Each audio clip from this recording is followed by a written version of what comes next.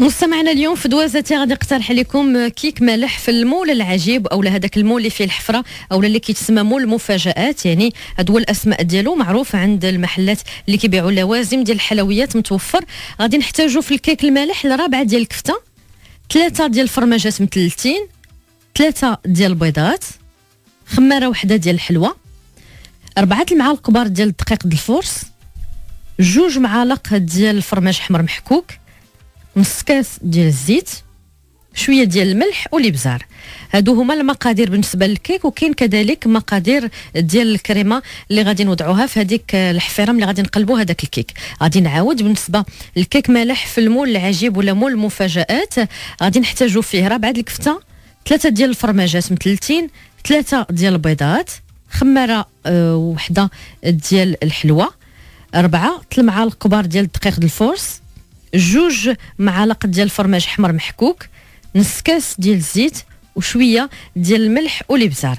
بالنسبة للطريقة كناخذوا الكاس ديال الخلاط الكهربائي وكنخلطوا فيه هذه المقادير كاملة يعني بالخلاط الكهربائي. ملي كتخلط مزيان يعني ربعه الكفتة مع ثلاثة الفرماجات 30 مع ثلاثة ديال البيضات مع جوج معالق كبار ديال الفرماج حمر محكوك مع نص كاس ديال الزيت مع شوية ديال الملح والإبزار. ملي كيتخلطوا مزيان في الكاس ديال الخلاط الكهربائي عاد كنفرغوهم في واحد يعني في واحد الإناء وكنضيفوا ليهم الدقيق والخمارة ديال الحلوى يعني كنضيفوا عليهم ربعة المعالق كبار ديال الدقيق ديال الفورس مغربل مع خمارة وحدة ديال الحلوى ومباشرة كناخذوا هذاك المول العجيب أو المول اللي فيه الحفرة وكندهنوه مزيان بالزبدة وممكن نرشوه بالدقيق وندخلوه لل congélateur تقريبا واحد خمسة ديال الدقائق حتى يعني كيشد مزيان وكيسهل علينا أنه ملي نقلبوه يعني كتبعنا هذيك الكيكة ما كتلصقش في ال moule ومباشرة كنفرغوا الخليط ديال هاد الكيك اللي حضرنا مالح وكندخلوه الفران كيطيب بالطريقة العادية كيف كنطيبوا الكيك. ومباشره ملي كنخرجوه من الفران نخليوه حتى كيدفى شوية اولا داك الكيك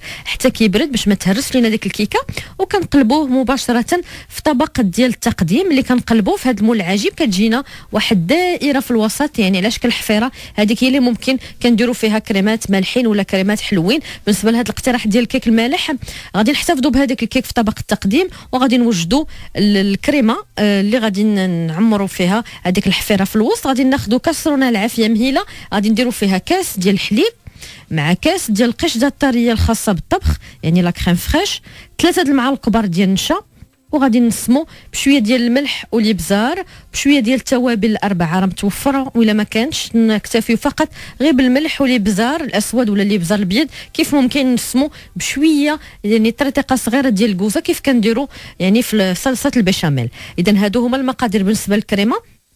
قلنا في كاسرونه العافيه مهيله غادي نديروا كاس ديال الحليب كاس ديال القشده الطرية الخاصة بالطبخ. يعني لا كريم فريش خاصة بالطبخ لأنه هذا الاقتراح مالح. ثلاثة المعالق كبار ديال النشا شوية ديال الملح والابزار وشوية ديال التوابل الأربعة. وإلا ما عندناش التوابل الأربعة نكتفي فقط بالملح والابزار وشوية ديال الكوزة. ولا شوية ديال الإبزار الأبيض.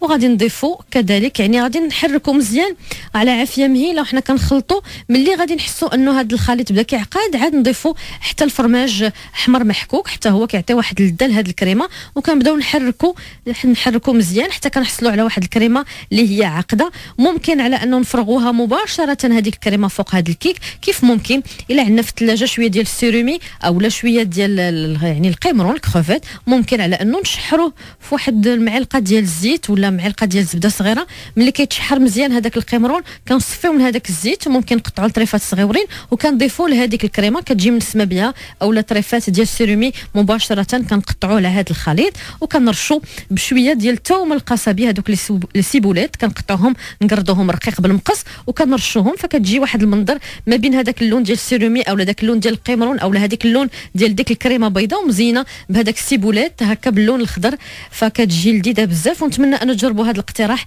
كيك ملاح في المول العجيب وبالصحة والراحة.